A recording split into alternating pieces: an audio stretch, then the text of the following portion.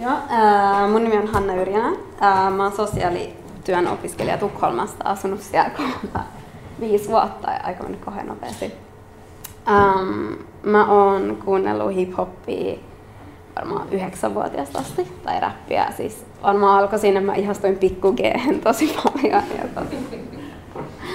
ja sit, sit siitä kapasiteettiyksikköä tällaista näin. Ja sit, sit kun alkoi ymmärtää englantia enemmän, niin sit alkoi kiinnostua ää, niin kuin, kuuntelin tosi paljon Nasia, Tupac. Ja tällä mä oon aina tykännyt siitä ehkä niin kuin tarinan kerronnallisesta puolesta hiphopissa, että se on vedonnut tosi paljon parhaimmillaan niin kuin kylmät väreet menee, kun on niin makeita juttuja siellä. Ja tota, sit mä kesti tosi kauan niin kuin pitkä aika, jos saanut se kiksei musiikista, rapista. Et sit on vaan, mä oon ehkä just tämmönen niin vanhojen aikojen fiilistelijä, mitä tulee räppiin. Et ehdottomasti niin kuin 90-luvun, 80-luvun lopun räppi. Jenkkiräppi on se mun juttu, mutta sitten tota, mun piti alkoi viime syksynä kirjoittaa mun kandia. Ja mua kiinnosti kauheasti Tukholman lähiöt ähm, ja nuoret siellä. Ja sitten tuli tämmöinen kilpailu kuin Urtens bästa poet, eli lähiön paras runoilija Tukholmassa järjestettiin ähm, Rinkebyssä. Ja sitten kun mä kuuntelin niitä, mä olin silleen wow, että niin oikeasti sipun tuli ne kylmät väreet pitkästä aikaa. Yes, että et tästä mä haluan kirjoittaa. Että siellä on niin kuin tosi hienoja tarinoita ja hyvä fiilis. Ja tota, ähm, ja sitten sen kautta mä siis äh, analysoin seitsemää spoken word runoa. Et, ja et mitä kautta niinku, no siis vardagsverkligheter eli everyday lives. Jo, mul, anteeksi, jos mulla on käsitteet välillä vähän hukas suomeksi, koska tosiaan mä oon tehnyt ruotsiksi tämän kaiken. Ää, lähiöissä ja että millä tavalla spoken wordia käytetään niiden ilmaisuun ja tällaisen niin kuin mikropoliittisena vastustusmuotona. Ja mä ajattelin aloittaa, että mä näytän yhden videon sieltä kisoista, kun Iman, Iman tota, ai niin, äm, sen runon nimi on, tai sen esityksen nimi on Tilfelli. Ja se on ruotsiksi tietenkin ja siinä on aika paljon slangia, että voi olla, että menee osalle ehkä jollain tavalla ohi, mutta mä haluan kuitenkin näyttää, koska tässä on mun mielestä tosi paljon fiilistä ja niin kuin, kiteyttää sen kaiken, mitä mä tässä rakastan.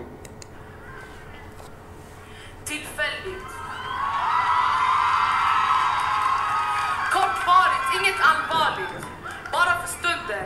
Bara nu har du någonsin känt dig tillfälligt. Som en tillfällig flickvän till en shuno som sen kommer lämna dig för en ren orörd kvinna. Som tjej i orten har du kvinna. Du vill aldrig befinna dig i en kortvarig romans. Då du inte är bra nog för att vara hans för alltid men bra nog för att vara hans nu där du blir utnyttjad för att sen bli kallad för smutsig. Bara för att du råkade bli fuktig. Och för att han var duktig på att ljuga, förföra, beröra, drog in dig i en oärlig relation med dolt syfte var han tvungen att förstöra ditt rykte.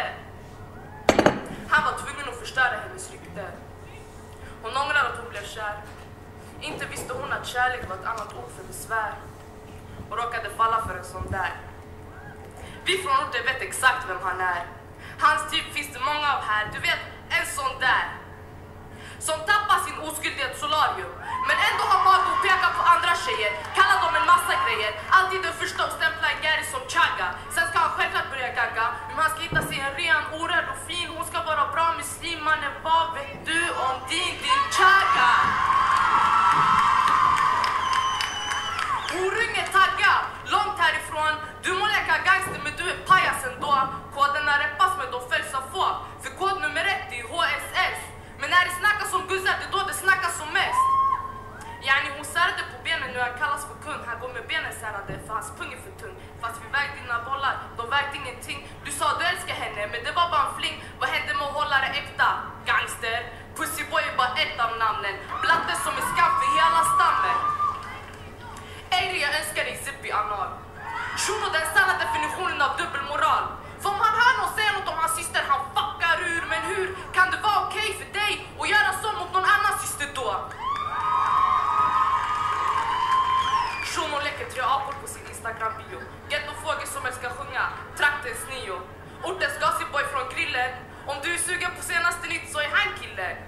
Snacka hekto, SK. Shunolik, ghetto, ghetto. Mannen du är exo, exo!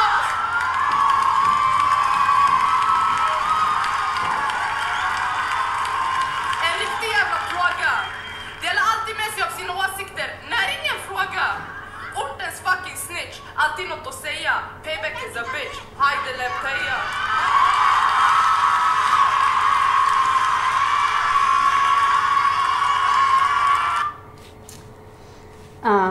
Joo, tosiaan siis... Um,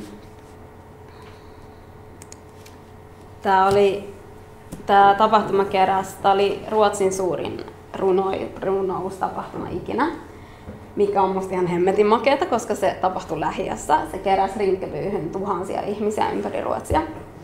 Um, ja tota, eli nyt mä pääsen ehkä sitten viimeinkin siihen asiaan, miksi just spoken word on mun mielestä niin tärkeä. Ja mi, mä olen myös kerron, että mitä yhtäläisyyksiä mä näen hiphopin.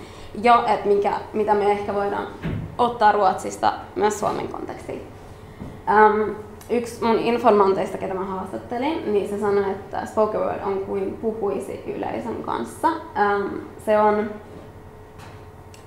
taas mun oma kommentti täällä, että se on tapa kommunikoida omaa tilannetta ja omia ajatuksia muille. Eli kulttuurin kautta voi... Ruotsissa on tosi paljon etnistä asuntosegregaatiota. Että nämä nuoret asuu lähiöissä, missä ne ei ne ei ole niin kuin, ne pystytään kulttuurin kautta kertomaan tilannettaan eri tavalla kuin, tai sellaisille ihmisille, keiden kanssa ei ehkä muuten olisi missään tekemisissä.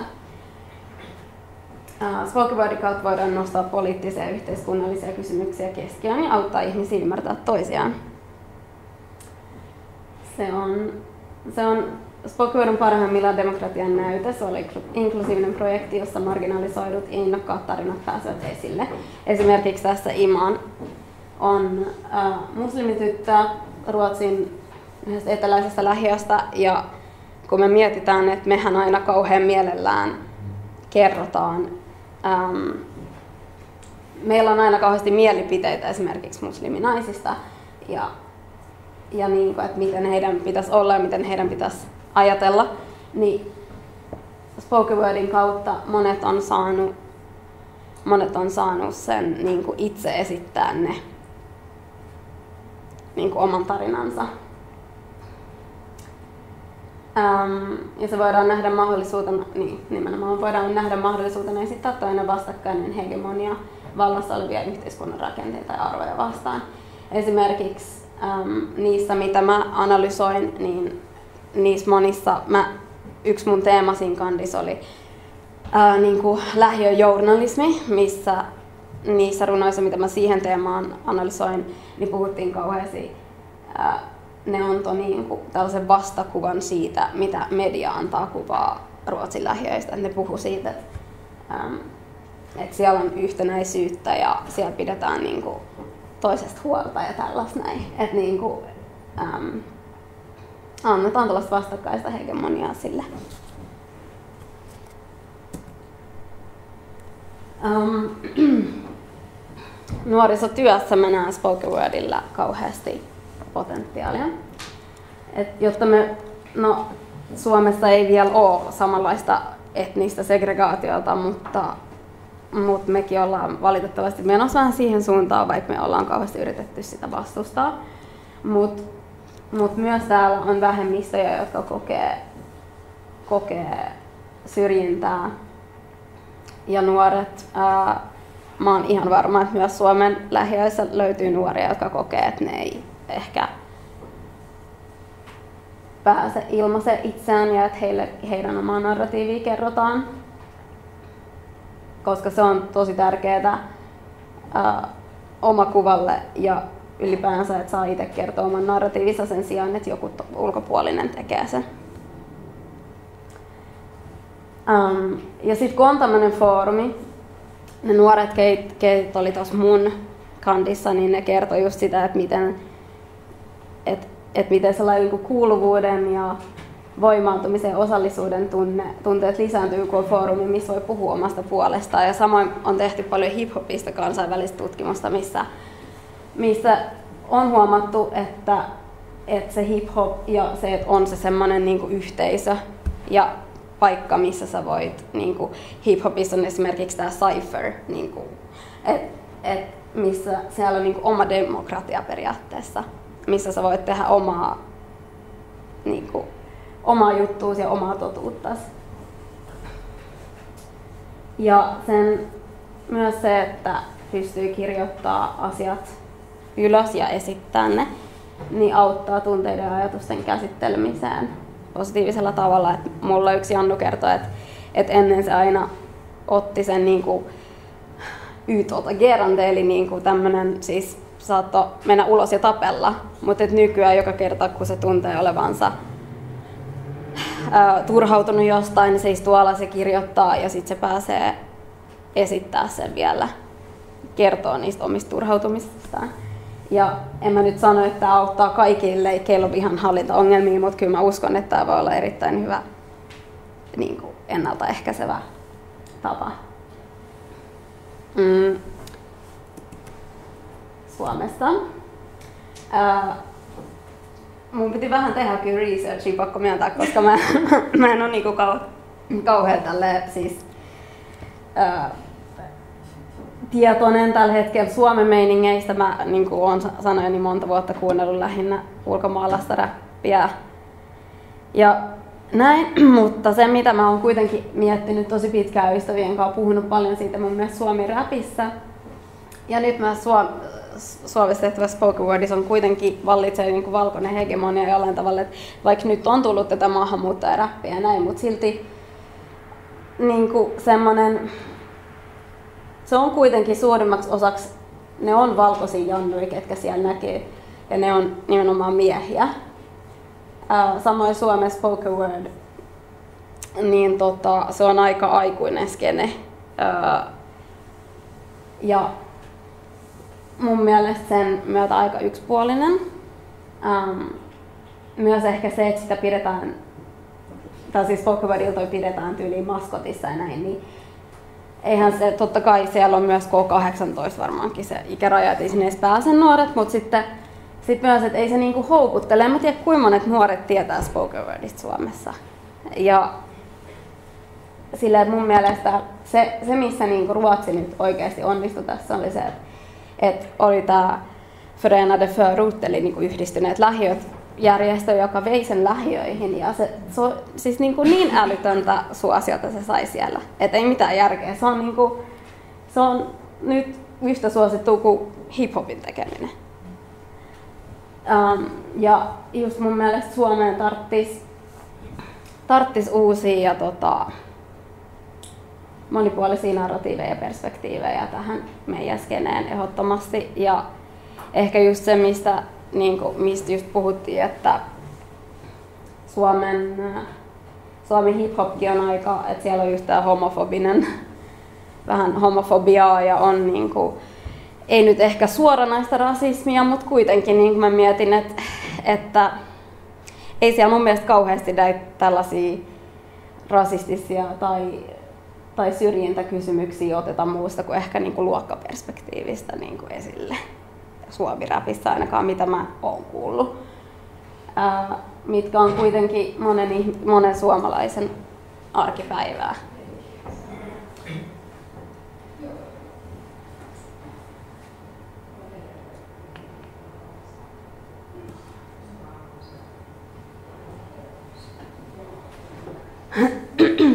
niin siis sit mun piti vielä siihen lisätä täällä tota, täällä tuohon niin tunteiden ja ajatusten käsitteleminen positiivisella tavalla, niin siihen, siihen vielä piti, nyt että mä olin täällä kirjoittanut, että, että se just myös lisää, ää, lisää nuorten, tai kuka tahansa sitä tekee, niin itse tuntemusta, omakuvaa ja itse luottamus kasvaa sen kautta, että pääsee esiintymään ja niin, varsinkin, kun pääsee esiintymään, niin se, se sillä on paljon positiivista. ja siksi, mitä mä yhtäläisyyksiin, miksi mä ää, käytin hip-hoppia paljon esimerkkinä tällaisesta niin kuin vastarintaliikkeestä mun kandissa, oli se, että mä näin paljon yhtäläisyyksiä hip-hopissa ja siis spoken wordissa, mitä alettiin tekemään Ruotsin lähiöissä, se, miten se lähti liikkeelle, että niin kuin Ruotsin lähiöissä sitä alettiin tekemään sen lähiöissä, siitä tuli niiden oma juttu. Se on niin kuin, jo se, ihan se fiilis, mikä siellä on ihan erilainen kuin että jossain niin kuin joku UG-baari keskustassa se spoken word, mitä siellä, se, se, on niin kuin erilaista spoken wordia, se on spoken wordia, mutta mun mielestä se on, siinä on kuitenkin joku oma niin kuin säväyksensä. Ja se, sitten just yksi mun informaatti sanoi tälle, että hip-hop on aina ollut, valitettavasti ei ehkä niin paljon just nyt, mutta alusta asti ollut ää, niin kuin, muus, ää, vastarintaa, niin kuin, et, et, tapa tehdä vastarintaa. Se on ollut tapa sanoa vastaan juuri niin kuin spoken word on nyt. ja sen mä mietin, että miksi, mikä spoken wordissa on kiinnostavaa ja mikä siivetää puoleensa on ehkä, että se on taidemuotona vähän vapaampi kuin rap. Sä voit esittää spoken wordia tosi monella eri tavalla. Sä voit, se voi olla vähän kuin sä luennoisit tai sit sä voit rimmailla siinä ja se voi olla kun sä räppäisit. Se on, se on vähän vapaamuotoisempaa. Siinä ei myöskään ole samanlaista freestyle battle-kulttuuria, mikä voi tehdä mihin mä kelaan, että et sen takia spoken wordin esittämiseen voi olla matalampi kynnys kuin freestyle-räppäämiseen, koska sä voit, sä voit valmistella sun esitystä pari kuukauttakin, niin tai sä voit esittää jonkun tosi vanhan tekstin, minkä sä oot joskus kirjoittanut tai jotain. Se, ei ole, niin kuin, se on silti edelleen yhtä lailla sun juttu kuin mitä joku freestyle-räppäys olisi. Niin mä mietin, että se voi sen takia ehkä myös houkutella sellaisia ihmisiä, jotka kokee, että ne ei ehkä, ehkä rapin musikaalisuus ei, ei, tai se pelottaa tai ei, ei kiehdo tai jotain, tai sitten että se niinku tuntuu, tuntuu että et rap, rapille ei ole jotain, niinku, että sä et kuulu sinne. Et, et mä luulen, että spoken word voi niinku houkutella suurempaa yleisöä ja tekijäkuntaa, miten se sanoo. Uh, joo, mä olin aika lailla varmaan nyt valmis. Mm?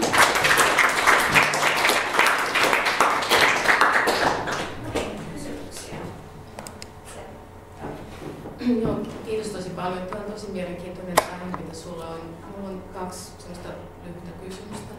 Toinen liittyy yleisöön. Niin ainakin videossa kuuluu, että Imanilla olisi jonkinlainen oma yleisö, koska se osasi jonkin verran näitä sen, sen, sen lyrikoita, mm. niin tota, voit kertoa vähän enemmän niin siitä, että millainen tämä tapahtuma oli, että oliko se sitten semmoisen kaveripiiri tai yleisö, joka ikään kuin, niin seurasi häntä ää, monta kertaa siis sillä tavalla myös niin osasi sen, sen tota, ää, tota, tota tekstiä. Ja sitten toinen juttu, kun puhuit myös tämän Rinkenbyn segregaatiosta, niin sehän on paikka, joka on kokenut monenlaisia segregaatiota, niin miltä se nykyään näyttäytyy sulle, se segregaatio, varsinkin sitten just näiden nuorten, nuorten näkökulmasta?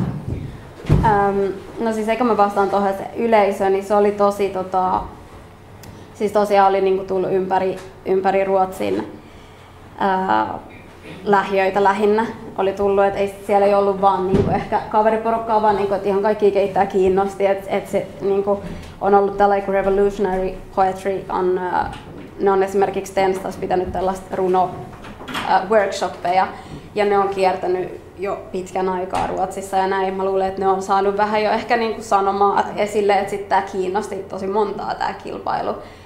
Ja totta kai siellä oli varmaan kavereitakin ja sitten kun oli niin paljon tota, siellä oli semmoinen teema, niin kuin, että on etelän lähiöt, sitten on niin kuin pohjoisen lähiöt ja, ja tota, sitten oli niin kuin ihan sellaisia spoken word ryhmiä, niin kuin, että niissä oli ehkä useampiakin, jotka teki esiinty niin kuin just eri lähiöistä.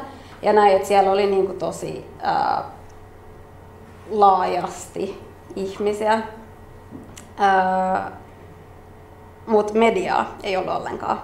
Media kiinnostui tästä vasta, kun tämä sai huomiota ja huomattiin, että tämä on vetänyt eniten. Tämä on suurin runotapahtuma ikinä Ruotsissa, mutta se ei, sitä ei kiinnostanut se silloin, kun se, sitä alettiin järkkää Rinkkebyssä. Ja tää, se on aiheuttanut tosi paljon, nämä runoilijat on puhunut siitä tosi paljon silleen, että, että mikä hitto siinä on, että, niinku, että, että ne tulee tänne silloin, kun kivitetään poliisiautoja ja sytytetään autoja tulee, mutta sitten kun on tällaiset, että, että niinku, it was all love, niin sitten ne ei ole siellä. Rinkkevy, joo. no siis, no siis kyllähän siellä niin kuin, mä oon ehdottomasti vähemmistö, kun mä siellä kuljen. Et niin kuin, ei siellä, siellä on paljon lukutaidottomuutta, siellä, ei, siellä on paljon, että ei osata ruotsin kieltä, työttömyyttä ja näin, mutta sitten siellä on myös tosi paljon tällaisia siis nuorisotyö niin kuin kukoistaa siellä, että siellä on tosi aktiivista tällaista, niin kuin, että nuoria yritetään, yritetään lisätä niin kuin osallisuuden, osallisuutta ja kuuluvuutta ja tällaista, että niin kuin, siellä tehdään tosi paljon progiksi ja samoin tässä. Ja ylipäänsä näistä lähiöistä ne yrittää, ne yrittää tosi paljon niin kuin, siis, ja tämä on nimenomaan, että se lähtee sieltä. Että sinne ei mennä ja yritetään vaan, että ne ihmiset siellä tekee sitä, mikä on musta tosi siistiä ja mitä mun mielestä tarvitsee tänne ehdottomasti. Meidän ei tarvitse mennä niin pitkälle siinä, että niinku syrjäytymisessä ja, ja siinä niinku pahassa olossa. Mutta spoken word on siellä oli myös nyt tuossa ennen joulua, luulen, että se oli Albys järjestettiin tämmöinen niin kuin debatti, missä siinä oli, niin kuin, että, että okei, okay, otetaan poliitikot ja spoken word artistit niin kuin samaan mestaan. Et ekaksi ne saa esittää spoken wordina nuoret. Ja sen jälkeen on debatti, ää, poliitikot. Ja se oli kyllä niin kuin huomasi, että se yleisö ehkä mitä siellä oli, niin ei ollut näille poliitikoille kauhean niin kuin tämmöinen niin kuin normaali tai tavallinen yleisö, että et niitä kyseenalaistettiin ehkä tavalla, mitä niitä yleensä kyseenalaistetaan ja näin, mutta se oli kyllä makea tapahtuma ja mun mielestä niin kuin, että et siinä nämä nuoret sai kuuluvuutta ja näkyvyyttä tosi paljon, mikä on niin kuin, hieno juttu. Et sellaista Suomeen lisää, please. Mä tuon sen ainakin Suomeen. Mm. Joo, no siis mulla on kaksi asiaa. Tota, niin toinen asia on se, että, että toi esitystapa tuossa, niin se on ihan sama kuin tämä kirjoitetuissa battleissa. Eli täsmälleen sama rytmitys mm. se rimeillä pelaaminen ja se, niin se, se, että se pointti tulee aina sitten sieltä. sieltä. Tuota, Suomessa on Skrivaakku Riivaa niminen kirjoitettujen battleen liiga, mutta sitten se on niin kuin battlee sitten. Mutta mm. se on täsmälleen tämä sama juttu, että siinä vaan tulee se vuoro mm. sitten lisäksi. Mutta siinä kanssa että se systeemi on se, että kaksi kuukautta tai kuukausi etukäteen päätetään, ketä vastaan ja okay. saa tehdä ne, ne tota, niin, mutta, eli siis se tulee varmaan tuolta, siis sehän on alkanut Jenkeissä ja kaikissa suurissa englanninkielisissa maissa mm. on Battle on mennyt kirjoitetuksi Battleksi nykyään, et, et, mm. mutta et just toi sama tyyli on, yeah. varmaan tulee niinku sieltä tosi paljon, mitä hänellä oli siinä. Mutta se, mitä mä oon miettinyt tosi paljon, on just se, puhuttiin siitä etukäteen jo, että miten saisi Suomessa tytöt mukaan. Ja tota, niin toi kilpailu, tämä spoken word kilpailu siis, että et tuosta me voidaan keskustella lisää, sit, jos mm. tiedät siitä, että miten se järjestettiin ja näin. Että, et se olisi semmoinen, mikä, mikä voisi olla just semmoinen, mikä ehkä saisi Suomessakin niin tytöt mm. mukaan, koska kun mä just freestylissa näen, että, että pojathan on, siis sehän on ihan hirveän tärkeä mm. tapa nimenomaan just semmoiseen niin strukturoimattomaan ilmaisuun, itse ilmaisuun, mutta että saisi tytöille sitten niin kuin, siis sillä, sillä tietyllä valmistautumisajalla. Mm. Että nimenomaan sen esiintymisen mm. siihen, että on, on hirvittävän hyvä, hyvä esimerkki siitä, että mitä yksi kilpailu voi niin kuin mm. tuoda. Tai, tai sitten tämä, tämä yhtyneet lähiöt, ainakin mm. sanot, että siellä on joku tämmöinen järjestö. Mm. Niin, tota, saat kertoa mulle ainakin henkilökohtaisesti sitä enemmän, Joo, enemmän sitten tota, niin, tästä järjestelystä, koska tämä on aika uusi juttu, että tämähän mm. ei ole mikään vanha asia. Joo, ei, siis ei ole. Että nyt järjestettiin vasta näin suurella kaavalla nämä niin kuin nyt viime Uh, no, 2016 uh, marraskuussa. Mm. Aivan, mm. eli meillä on ihan hyvät mahdollisuudet mm. sama, sama, sama, sama homma. Niin, niin, tota, niin. Uh, kolme nopeat kommenttia.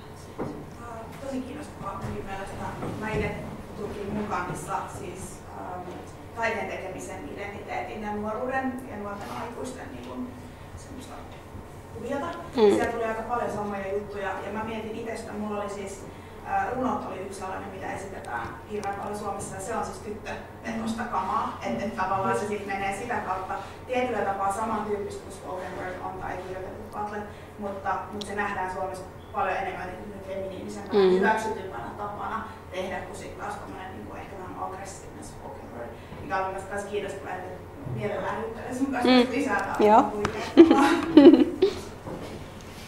Joo, mä oon tota, Hannan kanssa paljon puhunut kotona. ja tota, tota, tota, mä edustan, ää, mä toimin erityisopettajana tuolla Vuosaaressa ja, ja tota, Mä toimin nuorten kanssa, joille riippuu on elämä. Ja, ja tota, mutta myös heille samalla he ovat niin kuin, heistä on suuri huoli, että on syrjäytymässä tästä yhteiskunnasta. Ja mietin sitä, että koska tämä yksi menetelmä, millä me saataisiin niin nuoria osa, kokemaan sitä osallisuuden tunnetta. Ja, ja tota, ehkä No sitten mä rupesin miettimään tässä vielä, että, että tota, viime viikolla juuri tässä vapujuhlassa katsoin, katsoin talenttia, heidän tekemänsä koulun talenttia kilpailua. Ja, ja tota, joka ikinen kuudesta esityksestä, vai oliko niitä jopa kahdeksan liittyi jollain lailla, siellä oli tota breakdance-esityksiä, joko yksilösuorituksina tai ryhmänä, ja, tai sitten siellä esitettiin räppiä. Ja, ja tota se, ää,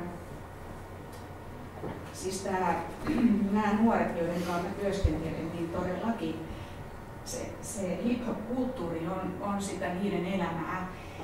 Mutta kukaan esimerkiksi opettajakunnassa ei ole kuullutkaan tästä. En mäkään ollut ennen kuin Hanna toi sen mun tietoisuuteen. Ja, ja jo, jollain lailla, niin kuin, että, että meidän olisi, niin kuin, kun, nyt kun samaan aikaan Porvoossa mietitään jotain, jossa pidetään uudet valtiopäivät tota noin, tällä, tällä hetkellä, niin, niin siellä mietitään, että miten me saadaan ihmiset osallisiksi yhteiskunnallisista asioista ja kiinnostumaan politiikasta uudestaan, niin ehkä, ehkä meidän pitäisi ensimmäisenä saada ne tuolla kouluissa tietoisiksi siitä, että hei, mulla on ääni. Niin, niin tota, mähän olen heti ruvennut so- miettimään pedagogisia sovelluksia tästä, että, että joo. Hmm. Niin nimenomaan semmoinen, niin että tämän kautta sellainen, mitä mä sanoin, että voi tuoda niin poliittisia näkemyksiä niin keskiöön silleen, että oikeasti meillä kaikilla on niin kuin, vai, pystytään vaikuttaa ja niin me kaikki voidaan olla osallisen politiikkaa. Me niin kuin, semmoinen, että on kautta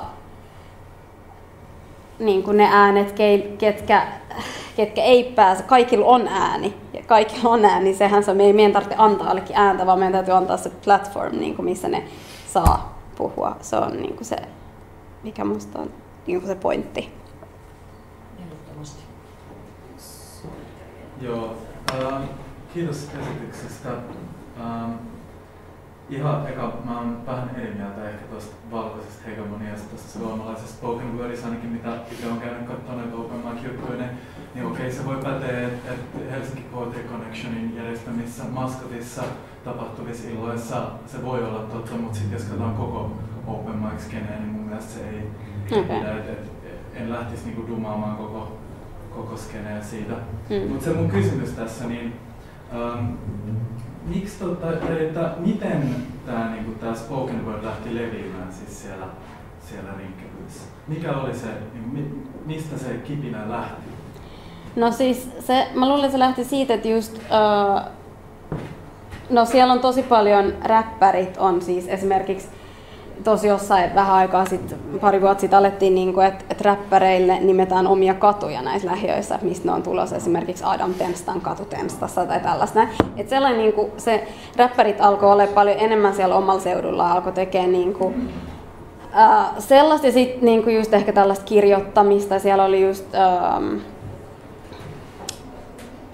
niin kuin alettiin just kirjoittaa tämä poetry, revolutionary poetry, että et sitä sellaista niin kirjoittamista alettiin tuomaan sinne nuorisotaloille ja tota, näin, että mä luulen, että sit, sit kun alettiin sitten kun ne alkoi just kiertää ja niillä oli tällaisia äh, niin open mic tai tämmöisiä tapahtumia aina, jos, kun niillä oli oma porukka esiintymässä, niin niillä oli myös, että et saa tulla täällä niin kuin, mikki vapaana, että saa tulla. Ja sitten ihmiset alkoi menee sinne, että hei, varmaan tajusin, että hei, tämä on ihan makea juttu. Ja sitten sit mä luulen, että ne vei sen ihan niin tietoisesti sinne lähiöihin, koska ne koki, että siellä on tarvetta sille. Ja sitten se vaan nappas. Se va- varmaan se nappasi just sen takia, että se on niin... Siis, koska suurin osa siellä hip-hop on myös niissä se suurin genre, mitä kuunnellaan ehdottomasti. Ja sitten varmaan ne koki, että siinä on just ää, yhtäläisyyksiä. Ja ehkä, että et kuitenkin se on aika vaikea päästä hip-hop-skeneen Ruotsissa. Se on aika suuri ja sinne on kova pyrky.